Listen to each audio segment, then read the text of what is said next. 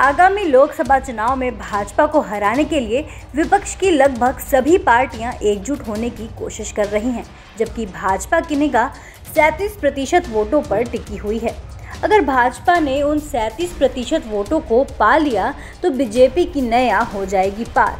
और कहीं विपक्ष ने उनमें सेंध लगा दिया तो लोकसभा चुनाव परिणाम की तस्वीर निश्चित ही बदल जाएगी। इस वीडियो के ज़रिए हम आपको बताएँगे सैंतीस प्रतिशत का गणित क्या है? बस आप बने रहिए हमारे वीडियो के साथ और देखते रहिए सहारा समय डिजिटल। 2019 के लोकसभा चुनाव में अकेले भारतीय जनता पार्टी ने तकरीबन 37 प्रतिशत वोट हासिल किया था। देश की दूसरी सबसे बड़ी पार्टी कांग्रेस को लगभग 20 प्रतिशत वोटें मिली थी। यानी भाजपा को कांग्रेस से लगभग 17 या 18 प्रतिशत ज़्यादा वोटें मिली थी। हालाँकि भाजपा अकेले दम पर चुनाव नहीं लड़ी थी।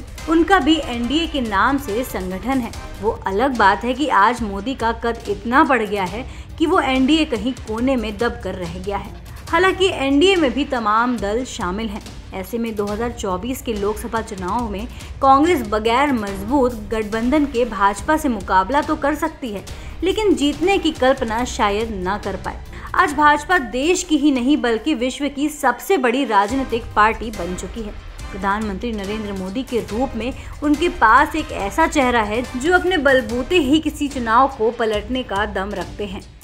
निश्चित तौर पर मोदी ने अपनी एक ऐसी इमेज तैयार कर ली है, जिस इमेज के आसपास जाने की क्षमता फ़िलहाल किसी भी विपक्षी नेता के पास नहीं है। बात करें 2019 लोकसभा चुनाव की तो उसमें बीजेपी को 303 सीटें मिली थी। जबकि भाजपा नेतृत्व वाले एनडीए गठबंधन को तीन सीटें मिली थी। भाजपा ने अकेले ही सैंतीस दशमलव तीन छह प्रतिशत वोटें हासिल की थी, जबकि एनडीए गठबंधन को 45 प्रतिशत वोटें मिली थी।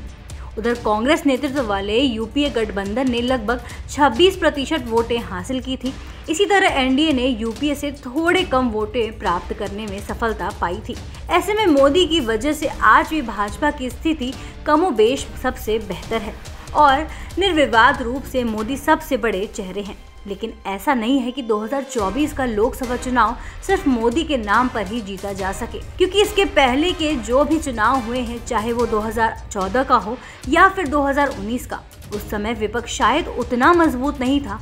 मज़बूत तो इस बार भी उतना नहीं है लेकिन राहुल गांधी ने भारत जोड़ो यात्रा के बाद अपनी छवि में अच्छा खासा सुधार कर लिया है और विपक्ष भी इस बार एकजुट होने के लिए कमर कस चुका है।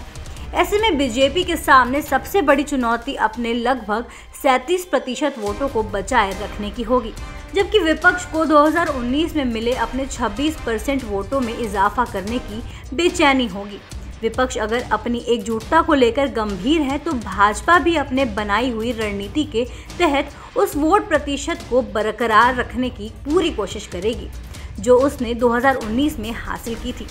हालाँकि कुछ दिनों पहले आरएसएस के मुखपत्र कहे जाने वाले ऑर्गेनाइजर मैगजीन ने अपने संपादकीय में जब यह लिखा था कि अब सिर्फ़ मोदी और हिंदुत्व के नाम पर चुनाव नहीं जीता जा सकता है उस लेख के बाद ऐसा लगता है कि भारतीय जनता पार्टी ने कुछ सबक सीख लिया है।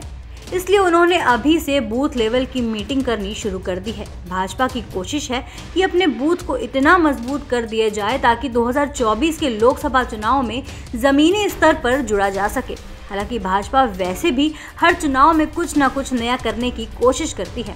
इस बार शायद बूथ को लेकर इसीलिए ज़्यादा मेहनत कर रही है। फ़िलहाल, भाजपा भी अच्छी तरह समझ रही है कि इस बार लड़ाई इतनी आसान नहीं है। अब निर्भर करता है कि विपक्ष कितना मज़बूत होकर चुनाव लड़ता है। ऐसी ही देश दुनिया की तमाम अपडेट्स के लिए देखते रहें समय डिजिटल। वीडियो को लाइक करें, दोस्तों के साथ शेयर करें और चैनल को सब्सक्राइब करना ना भूलें।